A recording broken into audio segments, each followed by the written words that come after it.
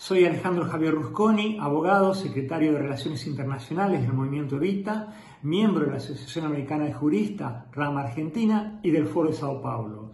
Quiero informar acerca de los hechos acontecidos en la madrugada de hoy.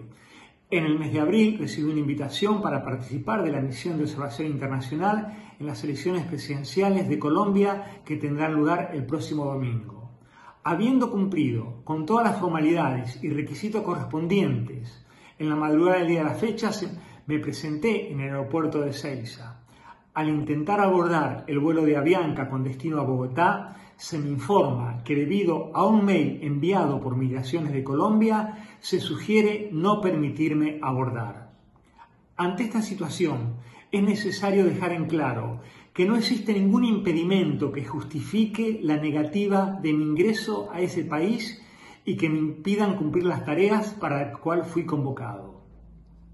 Las misiones de observación internacional son necesarias y contribuyen a garantizar la transparencia de los procesos electorales y fortalecer la democracia. Agradezco profundamente a todas y a todos los que me han expresado su solidaridad y preocupación.